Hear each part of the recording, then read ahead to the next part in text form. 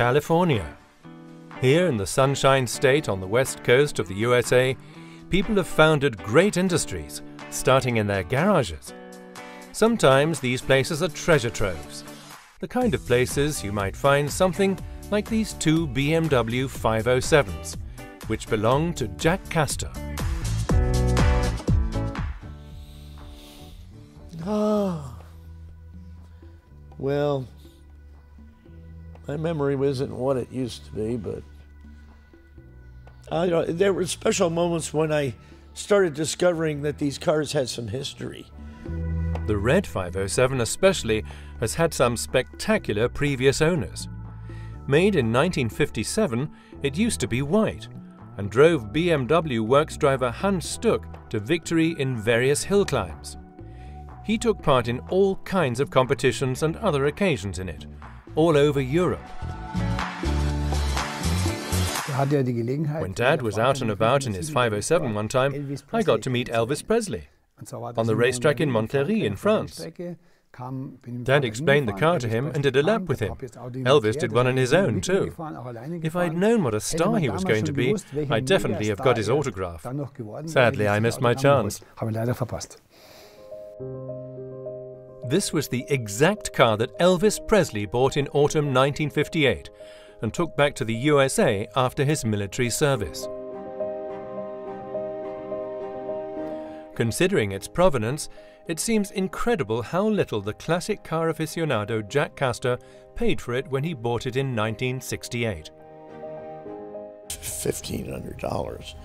It's the only way I could afford one of these at the time. Uh, but I've spent many, many years accumulating parts. And uh, they cost more than uh, the initial investment.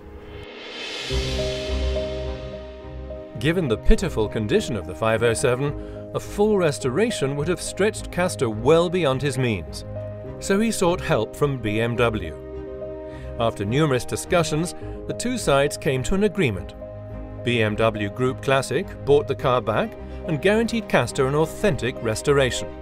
They then brought the special 507 back to Munich to be worked on.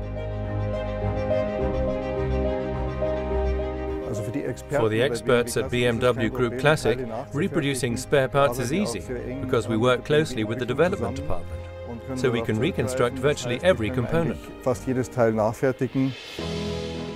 And so a thrilling project began. It was to last about two years. First, the car was completely dismantled and the paint was stripped off the floor assembly and body. Presley is said to have painted it red because he was embarrassed by all the love messages his female admirers left him, written on his car in lipstick.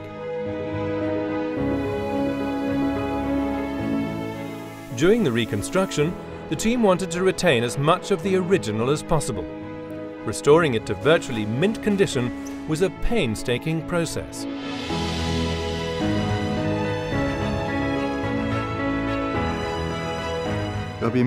BMW Classic was uncompromising in its restoration. Every last detail really mattered. We searched high and low for the silver surrounds for the taillights, but you can't get them anywhere. And what about Jack Castor? What made him give away his 507 in 2014?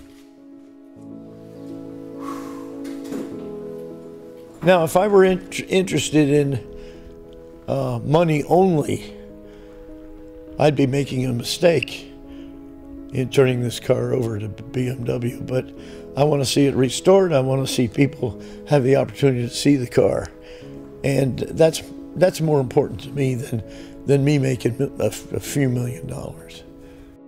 Castor the collector never saw his 507 in its restored state. He died shortly after handing it over to BMW Group Classic but at least the second of his wishes came true. People from all over the world can now see the painstakingly restored BMW 507 in its full glory.